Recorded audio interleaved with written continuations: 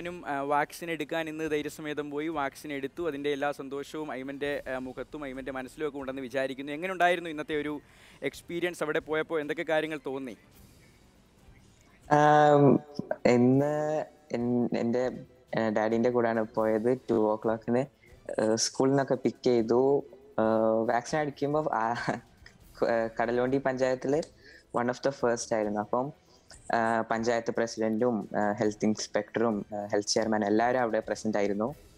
അങ്ങനെ അവിടുന്ന് എടുത്തത് ഒരേ ഒരു മിസ്റ്റിക്കൽ ഫീലിംഗ് ആയിരുന്നു.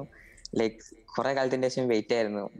നമുക്ക് വാക്സിൻ എടുക്കാൻ. ഞാൻ ഇപ്പനോട് ചോദിക്കാറുണ്ടായിരുന്നു വാക്സിൻ അപ്ലൈ വരാ വാക്സിൻ അപ്ലൈ വരാ കുട്ടികൾക്ക്. അങ്ങനെ ഫൈനലി കിട്ടിയപ്പോൾ ഐ ആം വെരി ഹാപ്പി ശരി എന്താണ് ഈ വാക്സിന് വേണ്ടി ഇത്രയധികം കാത്തിരിക്കാനും വാക്സിൻ എപ്പോൾ വരും എപ്പോൾ വരും എന്നുള്ളൊരു അന്വേഷണത്തിന്റെയൊക്കെ പിന്നിലുണ്ടായ ഒരു കാര്യം എന്താണ്? മുതിർന്നവരൊക്കെ വാക്സിൻ എടുത്തു എന്തേ ഞങ്ങൾക്ക് കിട്ടുന്നില്ല അങ്ങനെ ഒരു തോന്നലാണോ? അതോ ഈ വാക്സിനാണ് ഈ രോഗത്തിന് ഏറ്റവും കൃത്യമായ ഒരു മറുമരുന്ന് എന്നുള്ളൊരു വിശ്വാസമാണോ? ആ, അത് തന്നെയാണ്. പിന്നെ ഇവിടെ വാക്സിൻ ആദ്യമായിട്ട് വന്നപ്പോഴും ഞാനും ഇപ്പൊയാണ് മറ്റേ സ്ലോട്ടൊക്കെ എടുക്കുമല്ലോ അതെ അതെ. ഓൺലൈൻ അതൊക്കെ എനിക്ക് വളരെ ഇൻട്രസ്റ്റ് ആയിരുന്നു അപ്പം അതിന്റെ കൂടെ ഞാനും ചോദിക്കായിരുന്നു.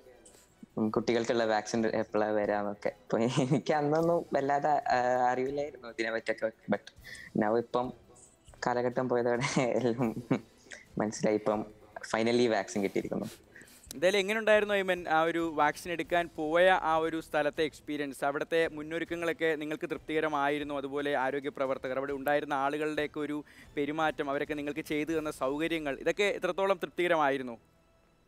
Of course everyone was very friendly എല്ലാരും നല്ല സ്വന്തം ആൾക്കാരെ പോലെ തന്നെ ആയിരുന്നു നല്ല വേദന ഒന്നും ഇല്ലാതെ നല്ലപോലെ നോക്കി സൂക്ഷിച്ചൊക്കെ നല്ലപോലെ വെരി ഹാപ്പി ആയിരുന്നു.